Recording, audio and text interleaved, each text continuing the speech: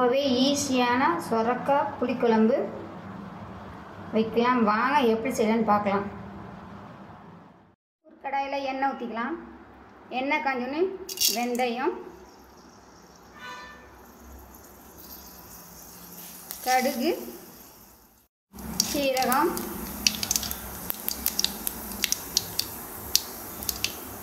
வெங்காயம். சொரக்காய் பச்சை மிளகாய் சேர்த்து நல்லா வதக்கலாம் சுரக்காய் லைட்டாக வதக்கணுன்னு தக்காளி சேர்த்துக்கோங்க சேர்த்து தக்காளியும் நல்லா வதக்கணும் அரை ஸ்பூன் சாம்பார் தூள்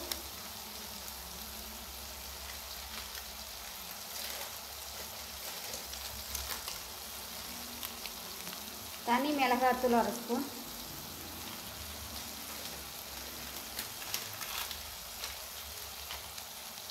மஞ்சத்தூள் தேவையான அளவு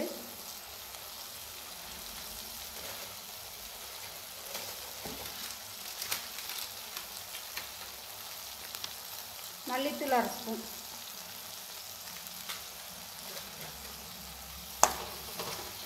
சேர்த்து நல்லா வதக்கிங்க. தேவையான அளவு தண்ணி சேர்த்துக்குங்க.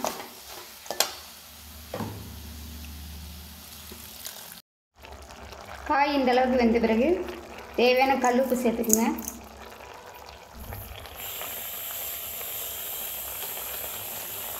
கூடவே புளித்தண்ணி சேர்த்துக்குங்க. புளிப்பு உங்களுக்கு எந்த அளவுக்கு தேவையோ அந்த அளவுக்கு சேர்த்துக்குங்க புளி ஒரு கொதி வந்தோடனே வேக வச்சு எடுத்து வச்சுட்டு நிலக்கடையிலே சேர்த்துக்குங்க.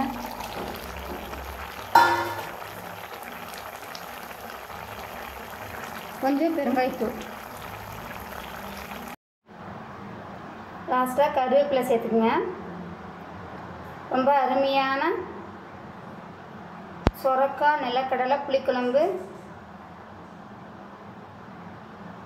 சிம்பிளாக செஞ்சு முடிச்சாச்சு. இந்த வீடியோ பிடிச்சிருந்தால் லைக் பண்ணுங்கள்